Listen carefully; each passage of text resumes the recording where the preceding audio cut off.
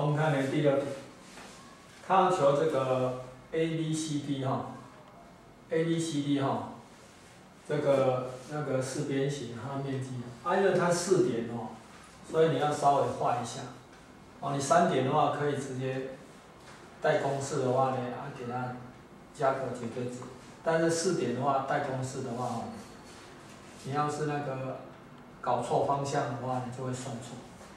好，啊，这个带公式等于多少？就是你如果是这样逆时针转一圈的话，算出来一定是正的；顺时针转一圈的话，算出来的话一定是负的。哦，因为这个方向的面积是正的，这个方向的面积是负的，所以我们就好这样绕一圈好，绕一圈就不用加绝对值，是二分之一哈，来给它绕一圈，就是负一。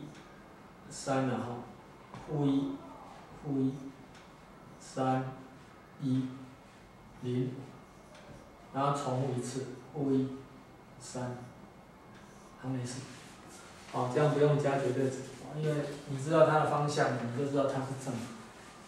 好，它这等于多少？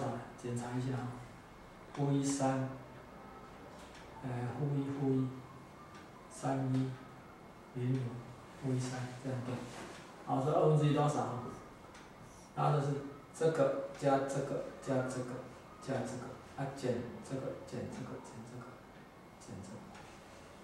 好，所以这个的话是一，啊加这个是减一，加十五，啊加，然后减掉多少呢？减掉这个是，呃，负三。这也是负三，在这里这是负，好，所以这样的话会消掉，这十五哈加多少呢？这负号带进去全部变成正，这五加六的，五加六十一，所以是二十六，所以答案是十三。